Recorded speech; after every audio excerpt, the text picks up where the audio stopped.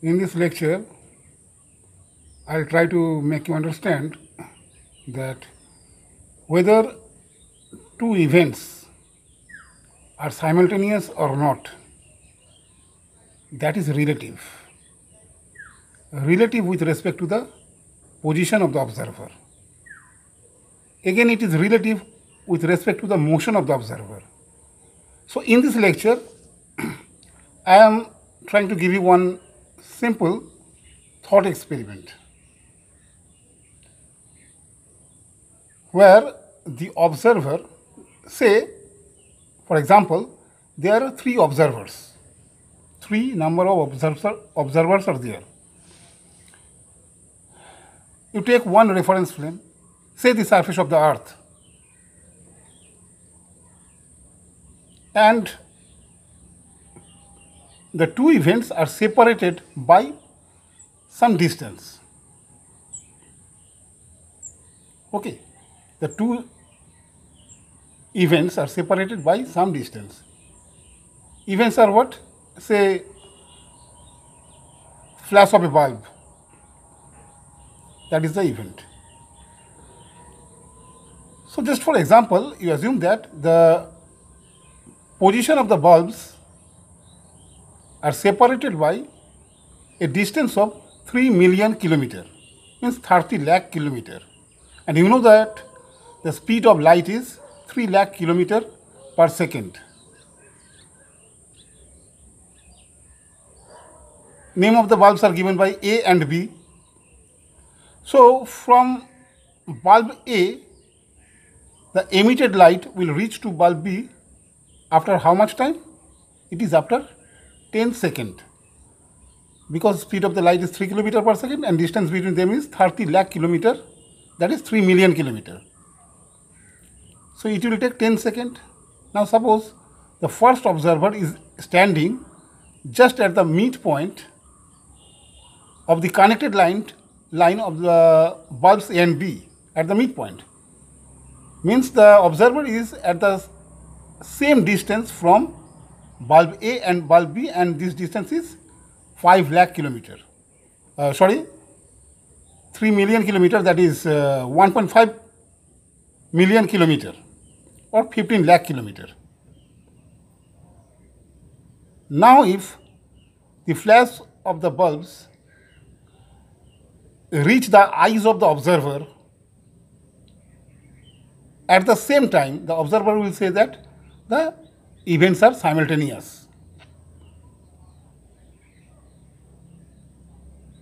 Okay, observer will say that the observer will conclude that the events are simultaneous and we know that here the distances are same. So, emitted lights have taken same time to reach the eyes of the observer. So, with this respect we, we can conclude that the two events are simultaneous. Now think about second observer who is standing nearer to A, nearer to bulb A. Okay. Distance is how much? 30 lakh kilometer. Say the second observer is standing at a distance of 10 kilometer from bulb A. That means he is standing 20 kilometer away from bulb B. Now for the same events, where the first observer noted that, observed that the events are simultaneous, but for the second observer, what will happen? From bulb A, the emitted light will reach first to the eyes of the observer. And from bulb B, it will, the emitted light will reach later because distance is more from bulb A, it is 10, kilo, uh, 10 lakh kilometer. So it will take more than 3 seconds, little more than 3 seconds to reach to the eyes of the observer. And from bulb B, the observer is at a distance of 20 lakh kilometer. So time taken by the light, emitted light from bulb B to reach to the eyes of the observer will be around 7 second, little less than 7 second. So what he has observed, the second observer, he has observed that the flash of bulb A has occurred first and then flash of bulb B. Now for the third observer, who is standing nearer to the bulb B, and here also this distance is 10 lakh kilometer from bulb B and 20 lakh kilometer for bulb A. So the third observer will observe the just the opposite, just the opposite. He will observe that the event at B has occurred first and event at A has occurred next to the event of A.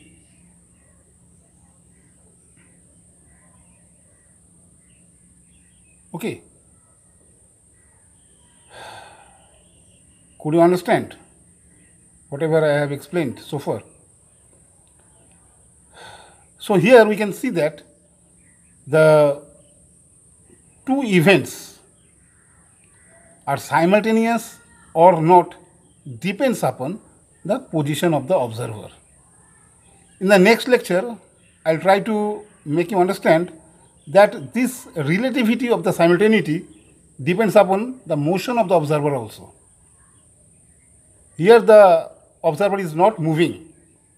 He is standing somewhere, reference plane is fixed and here the bulb A, bulb B and all the observers are standing on the same reference frame.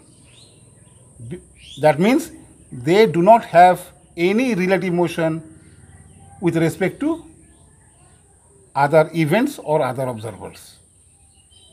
Okay.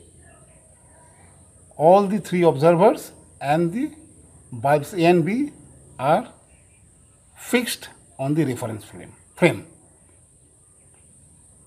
And here we, we have we can see that the observe uh, the events are simultaneous or not depends upon the position of the observer that is the conclusion. Okay.